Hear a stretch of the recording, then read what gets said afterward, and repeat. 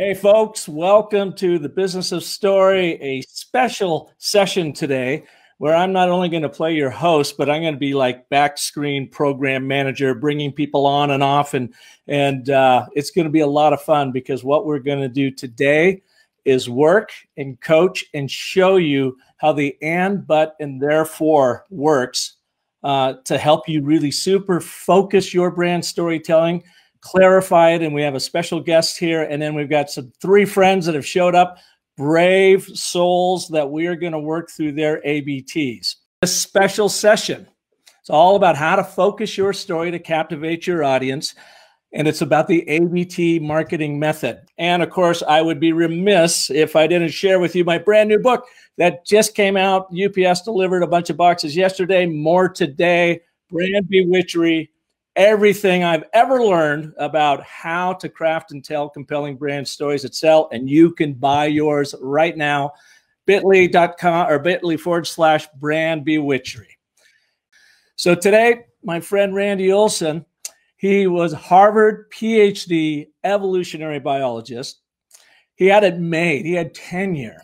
But what he was really interested in was communication, communication dynamic, and how we all react to this. And so he gave up tenure, went to USC Film School, graduated, produced three documentaries on uh, climate change, global warming. One of his in particular, Flock of Dodos, absolutely took off, was on Showtime for a couple years, um, and, and many other, I think he was even in the Tribeca Film Festival.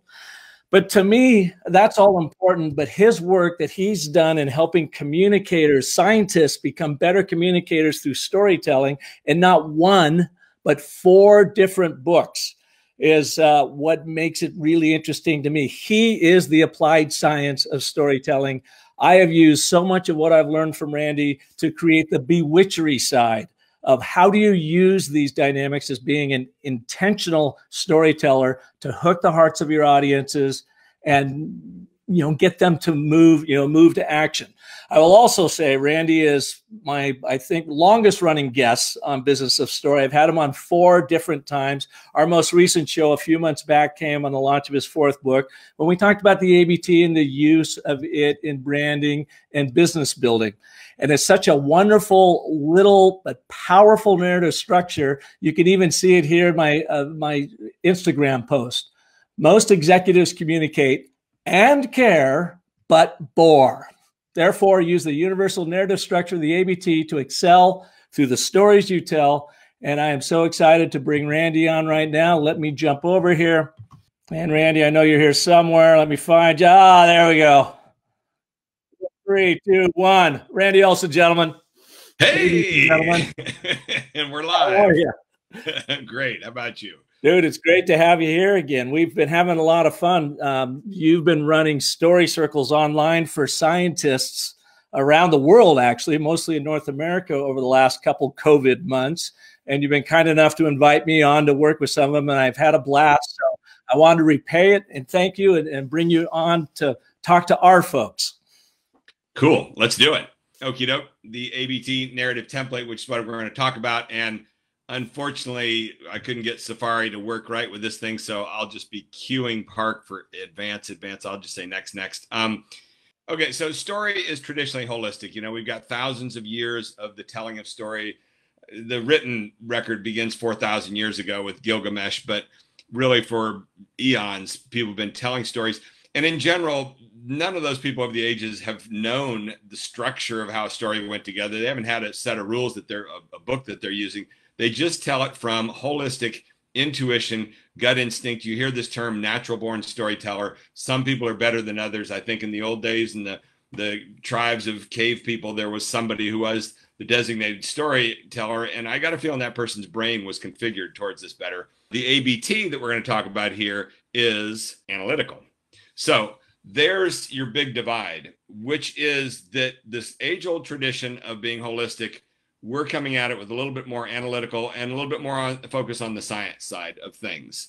Here we have two representative humans. Let's start here with the visceral level, which is again at the gut level. This is how storytelling has, has taken place over the ages and throughout the humanities. There's a tendency to be more fond of the visceral and the art and the mystique and the mysteriousness and everything like that. And in the advertising world, you know, they bring in the intuitives. They're the people that are driven by the gut. They can't even explain exactly where'd you get this idea from. I don't know. We're just going to go with it. As opposed to up there with the cerebral. And what the cerebral element gives you is a little bit more ability to actually analyze things and explain how they work a little bit and justify the advice that you're giving. So, back on the visceral side, it's about the intuitive side, it's the whole put together, it's the more human elements. It tends to be more vague and it's more drawing on the art. And that's great. It's essential. You can't do good communications without this big art component. But at the cerebral end, you have this analytical, more specific, more precise, more repeatable, and drawing on the elements of science. So, this is the structure that underpins these stories or narratives or whatever and that's where the ABT resides. That's the power and importance of this ABT tool. That's why it's taken off to begin with so widely within the science world because the science people need a little more analytical thing to lock onto. Now, what we're talking about here and what I'm talking about, and I meant to ask you earlier about this, um, Park, is your term a purpose driven brand, but I assume that's basically the idea that we're you're not just communicating for artistic expression, you've got an actual purpose. You're trying to accomplish a goal and get information across towards that end. So, what that means then is we have the two fundamental ways to communicate. The first of which is the non narrative template, that is the structure of basically putting together strings of information. You know, we've got a product and it does this and it does this and it does this and it does this.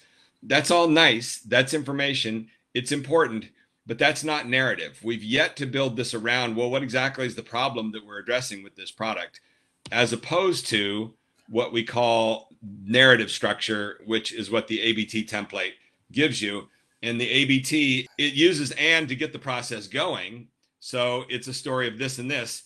Then it hits this word of contradiction, but, and that's when the narrative part begins. We pose a problem there, but we've got a problem in the world, this and this, and nobody else's product um, managed to address it Therefore, we've come up with this new product that does address that problem. So it's basically set up problem, solution, two modes of communication the non narrative and and and versus the narrative ABT.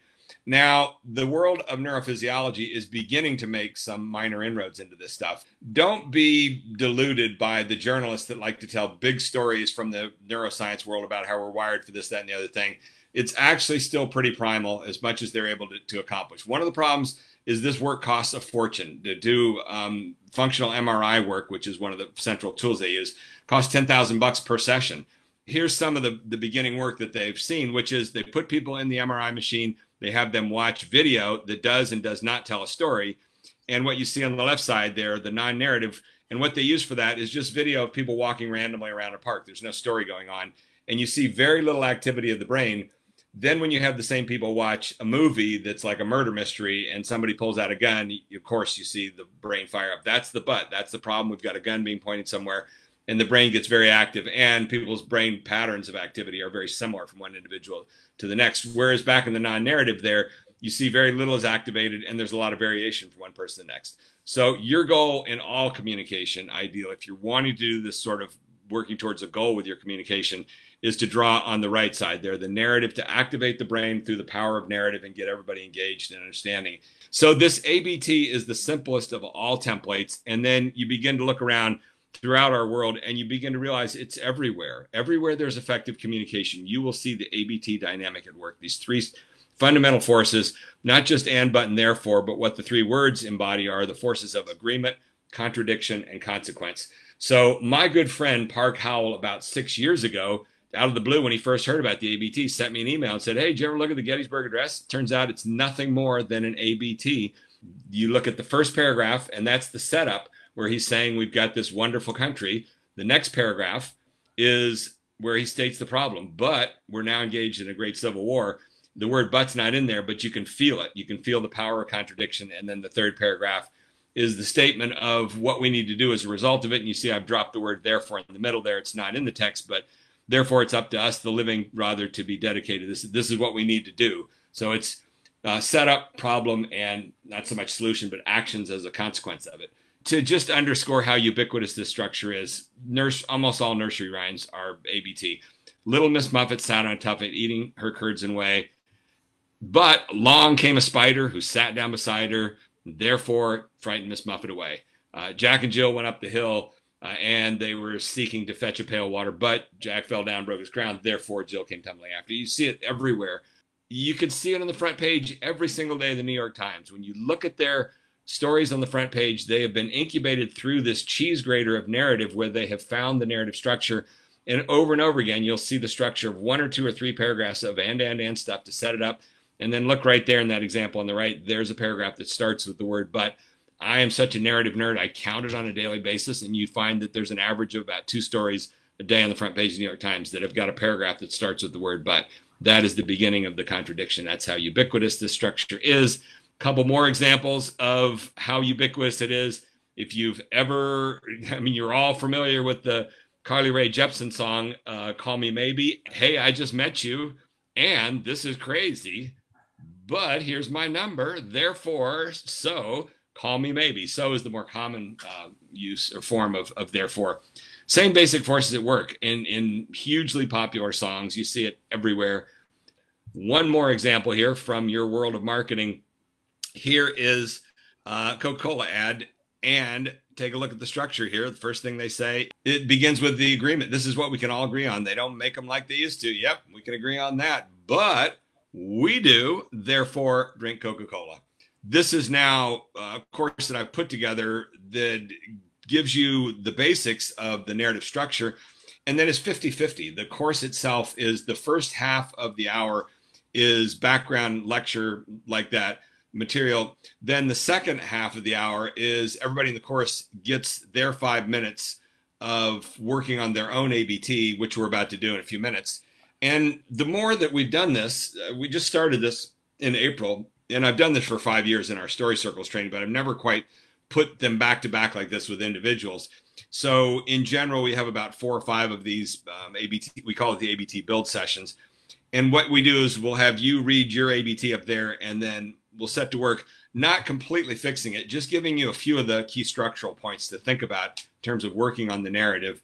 And it really turns into kind of puzzle solving. So that's where we are. Thanks for that, Randy. That was like a sprint on the background of the ABT. Yeah. I appreciate that. We've got questions coming in, but I want to bring in our special guests now, and we are going to work through these, right?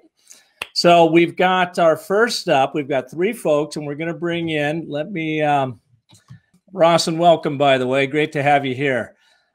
Great to be here. Thank you for having me. And Randy, cool. I thought the Call Me Maybe was very compelling. I did not realize. was that the clincher for you? Uh, that's that's just that's gold.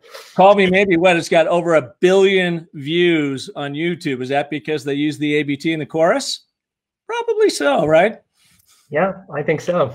People are dying because they're afraid to go to the hospital, and humanity rests on our ability to keep our society safe. But it doesn't have to be this way. Therefore, by running the technology framework of Uber and expert nurses around the country, Navi has created an Uber for nurses that can help triage and treat patients over video chat and in-person visits at scale that can help save the world. What we do is color code the three parts for the three forces. So agreement there at the beginning, that's your setup. The red is the contradiction, the statement of the problem, and then the green is the consequence, um, the therefore. Okay, so here's my thought on this one which is you've got um, you know very dramatic problem going on. But in general what you want with this abt dynamic and this is what we get into in great depth and I, i'm guessing that a lot of you have heard the basics of the hero's journey. And that's sort of this is kind of like a micro condensed version of the hero's journey what the abt is. What you're wanting to do is to achieve basically what happens with that hero's journey model is you've got this stable calm ordinary world that joseph campbell once described and then you have the inciting incident, the moment that turns everything and suddenly rockets you into the special world. And now you've got a problem that's been established. And so that's the inciting incident. So that's the dynamic you're wanting to get all the way down here at this micro scale is you're wanting to begin in the the thing that we can all agree on this agreement stuff um, the kind of the calm world before you start the action because it's on the action you've got your best chance of breaking through to people activating their brains like you saw in those brain scans and getting everybody to, to zoom in and focus on what we're talking about here and getting concerned about the issue. So what you've got here with this ABT is you've gone ahead and started it with the the drama where you've got people are dying because they're afraid to go to the hospital. So you've already told us the problem at the outset. Probably work a little bit better if you can start us in the ordinary world. Um, even though hmm. pandemic is not exactly an ordinary world, but basically we're at a point now where the pandemic's hit and we're kind of managing it. You know, there seems to be some sort of vibe that certainly not where it was three months ago, where everybody was totally in uncertainty. So we've got this world that's kind of stabilized out. Now you're going to throw in something that's going to overturn that. But people are dying in big numbers because they're afraid to go to the hospital. Which, by the way, just this morning I was surfing with a buddy of mine who's an ER technician was telling me exactly this. It's horrifying. All the people that are staying home with heart attacks and strokes. Exactly what you're talking about. It really brings it home. So there's your dramatic crisis. And the goal here is to try and go for that one dramatic moment to the best of your ability, even if what you're talking about is not a particularly dramatic topic. You've got it right there. And so now you pull us in like, oh my God, we've got a problem here. People are dying. Now we really want to know what the solution is. And there you go with the you're therefore, which you've got a whole bunch of things that are addressing it exactly. Does that make some sense? It makes complete sense. This is actually, you know, in Iron Man 1, the reason I did it this way, you know, in the first scene of Iron Man, he's running through the convoy and they uh-huh they shoot they shoot at him at yeah, the beginning. Yeah. I think the Park always says kind of the fractal of it, the the micro story is when you look at the convoy, it's an ordinary world. They're just talking, having a fine time, and yeah. then it hits you with it. So I think I love your point about it's not. I was trying to go, okay, we'll go conflict, but you have to. I think to your or not think to your point, start us in the convoy, even in that micro example, then the bombs hit and that's what gets you hooked. So I love that. I'm going to take, I got notes here and yeah, appreciate your time. Well, one, one of the cool things with this whole course is we're still making it up as we go along. You know, with every new ABT, it's it's really fun. It's all puzzle solving, and you guys toss these things up on the screen, and then we're staring at it, trying to figure out what's going on exactly here, and we're learning things. And Park and I, for the last six or seven years, he's been such a huge help in developing this base of knowledge. He, he's pointed out a bunch of these key elements, but one of the things that's I think come clear in the last month of doing so many of these ABTs is the more the stronger you can make that contrast from the ordinary world to the wildly exactly what you're saying in Iron Man. And what you get a lot of times, we've been seeing some of the more recent ABTs people have been putting together. They've got that bomb explosion, but it's further down in the red part. It's like you know, suddenly he hears the whistling or something like that, and they're talking to each other. I don't know. It, it just you you kind of want it right up against there. Yeah, exactly. And so that becomes part of the the tweaking of it. Um, cool. Okay. All right. Hey, man. Thanks, Thank Ross. You. I appreciate it. Let's bring in our next subject, suspect, victim, Greg Head from Scaling Point and Greg's List. Good pal of mine, now living out in Dallas. I miss you. I miss our gin and tonics up at the Henry. I went in there. Well, it was like winter time, and we were having a drink up there a year and a half or so ago. And I wa- and he orders a beer for whatever reason. I just felt like a gin and tonic. And he goes, "What? Are we at the lake?" I just thought that was a really funny line. Greg Randy. Now, Greg, you've been a follower of Randy's for a while through the podcast, and you've been using the ABT quite a lot in your work. Yeah, I do a lot of positioning work for early stage uh, tech companies, uh, growth companies, uh, figure out what they are. And uh, on top of that, I've used the narrative story model Park's tools and the ABT, which is the simplest form, uh, to bring out a, a, story that can get attention and make things change, right? You can position somebody, but that's not a story that people want to hear in the world. So this is, you know, this is the fastest way to do it. And I use it myself. I used it uh, with gregslist.com uh, because, uh, well, we'll go into that, I, you know. So software companies in Phoenix need to hire top ta talent to help them grow. And tech companies have always struggled to recruit fast. But when the COVID-19 crisis struck, many Phoenix software companies had to lay off many of their uh, employees, much of their staff, including top talent with more than 10 years of industry experience. Therefore, we created a list of displaced uh, software industry talent on Greg's list with over 100 displaced software leaders now to help them find jobs fast.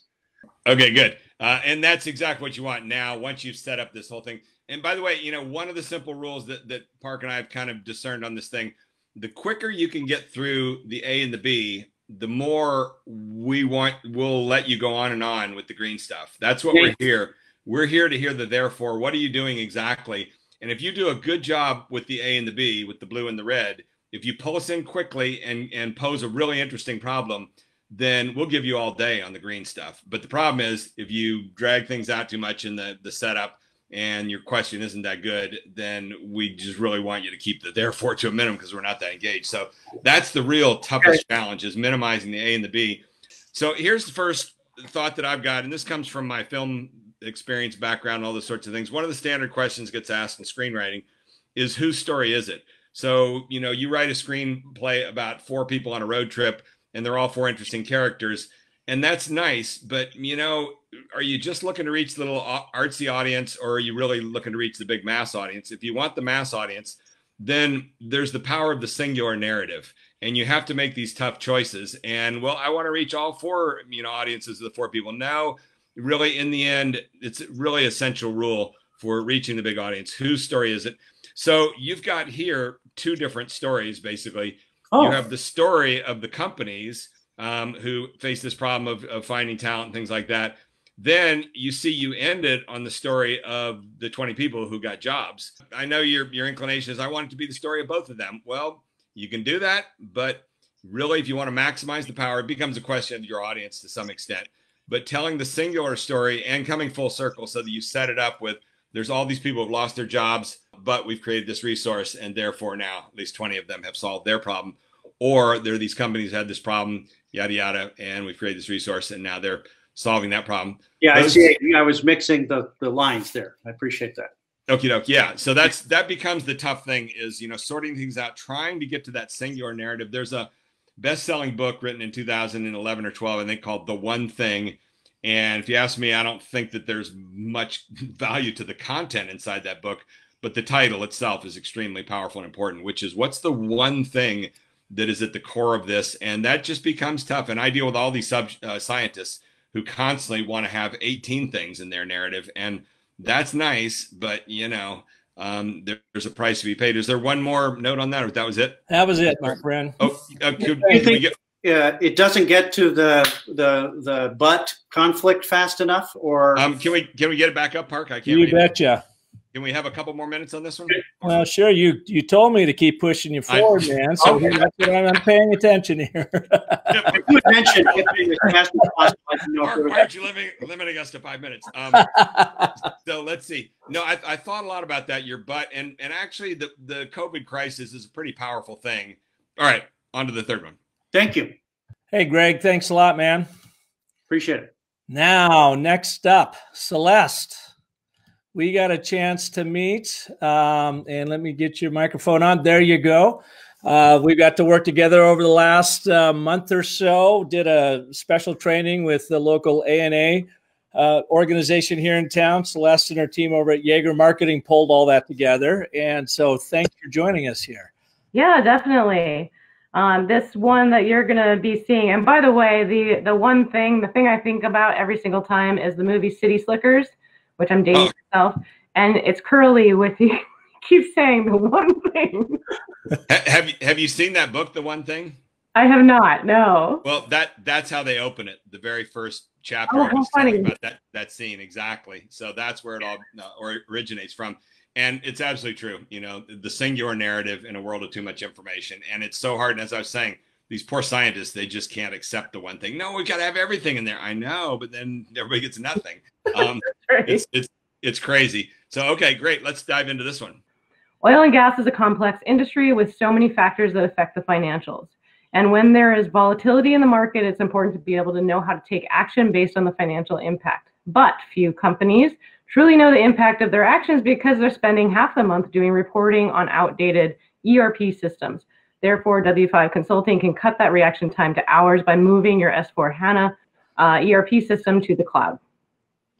Okay, this is a little awkward to say, but I don't have a ton of critical things to say on this one. It's in pretty good shape. I think you could probably shrink down the the blue part and the red part a little bit.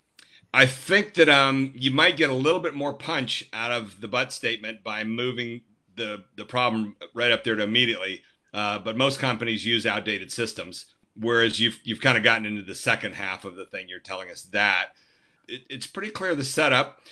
So here's one of the dynamics that that actually Park really pointed this out probably five years ago now, which is all else equal in this basic template of the and button therefore you want two things in the blue part you want the ordinary world, which is just get us into what are we talking about here, oil and gas um, industry, yada yada yada. So you want to get us oriented, and then secondly, what's at stake? Why is this important? Why does it matter? That you usually want that right before the butt. And if you do a good job right there of explaining to everybody, you know, this is a super duper important resource, but guess what? It's about to be blown up.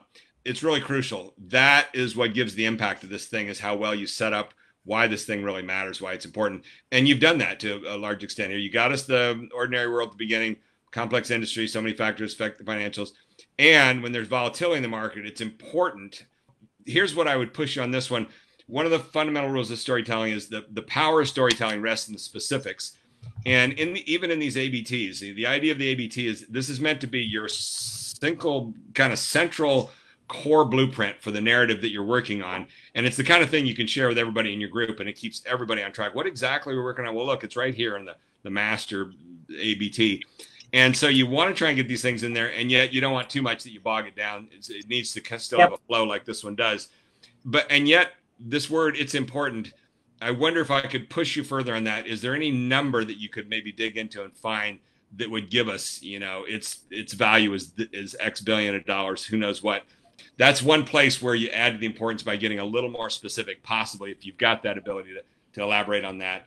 And then you get right into the problem, which is, I mean, the problem is very simple. They're using outdated systems, and that's that's easily relatable. Everybody can connect with that. And like, oh my God, that's crisis. Once again, if you got a number that that kind of brings that to life, you know, the, the systems are so outdated that 80% of these companies now are doing this and that.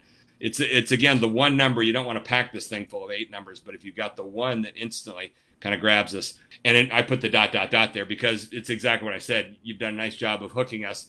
And now, if we really were here, we'd be ready to hear the whole long list of all the green stuff that you've you've kind of motivated us to listen to. Uh, Park, you got any thoughts on that one? No, I think it's great, and I really like the point about the but. I would just simplify that. And the funny thing is, I fall into the same trap too. Of you, you kind of seem like you want to pat it because you think it adds more to the story, but in this case, I think you just go, but they're operating on outdated ERP systems. Boom. And it, it, it builds that contradiction very quickly. So your audience goes, oh, God, you're right. So what do we do about it? Boom. And then you get into your therefore. Al Franken has a podcast now, and back in January he had Lawrence O'Donnell on there, and he, he said one little bit that really is, is stuck with me, resonated me. Um, he talked about the importance of communication for members of the Senate, and he said the problem in the Senate is none of my colleagues understood the importance of a moment. And he said, with my background in television, movies, things like that, he said, I know that. And the only way you get media coverage, you know, in the daily news cycle is you need to create a moment. And that's exactly what this is about is trying to create this moment here as powerfully as possible. And that's what we're saying here is just by getting right to that outdated systems, it's like that's your operative couple words there. We've got outdated systems. So the, the closer you bring those up to the word but, the more you're going to create a moment where everybody gets it and sits up and like, wow, that is a problem. How are you going to fix it? Yeah. Another way I think about that moment, you know, with a fishing analogy, is I use the ABT for a hook. And Greg, you were talking about how it got you attention and got the media, uh, you know, talking about gregslist.com. The ABT to me is that quick little punch, that quick little hook, and then you can reel in your fish with the additional stories you are going to tell that are going to be more elaborative, uh, have more nuance in them, you know, to, to land them in the boat. So that's, I always just try to think about keeping this as simple as possible. Let me show you a quick example of this. A company I worked with up in Toronto, Pret Auto Partes, is a used car dealership for credit challenge buyers up in Montreal. And they wanted to differentiate themselves from the typical smarmy used car dealerships you know, that are going out to take advantage of these poor people without uh, any money. And so they're going to get them into a car, they're going to drive around for three months, and they'll go and repo it basically. Well, he was just the opposite of this, and his his hope was to grow by twenty percent. When I started working with them, we realized that that's not what they were about at all uh, his whole process was about helping people repair their credit through the smart purchase of a car. And his ABT is basically this that he has built his entire brand story on. says you want the convenience, so it's you placing you, the customer, at the center of the story. You want the convenience of owning a car, and you wish for that freedom it provides, because that's what people would tell him. But you have bad credit.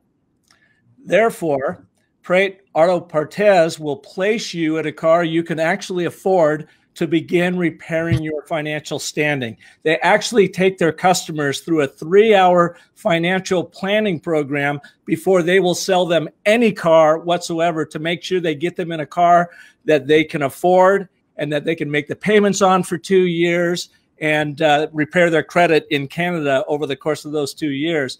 It led to their unique value proposition of Prate Auto Partes is your vehicle to financial freedom he has used this as the cornerstone of what he calls now with the story cycle his bible his brand story bible for hiring for attracting customers and they haven't grown by 20% they have quadrupled their growth opening their fourth dealership and now are the number one dealership in montreal uh, for used cars and helping people repair their credit so this is the power of it. So they can base everything off of this very simple ABT and start building their brand on it. I want to show you one last funny one that came in through this very site. This is uh, Eric Relaya showed up about eight months ago. I've never met Eric, but I know he's been a follower here for about two years. And he sent this, you know, he says, I took a stab at applying the AB&T method. Feels a bit like I'm using circular logic which happens when you first start doing this, by the way, because you're kind of like problem solution. Therefore, where does it all go? And so he starts writing this big long ABT. There are li- literally millions of people, patients and non patients alike, who are ashamed of or unhappy with their smile and not able to find an easy, painless, and affordable way to regain the life changing confidence to smile. He almost kind of gets all of his and in his butt in his very first paragraph there. So you can see why he gets start, you know, starts becoming confused. But smile transitions is easy, painless, affordable. Oh my goodness, he's introducing the solution where the problem needs to go.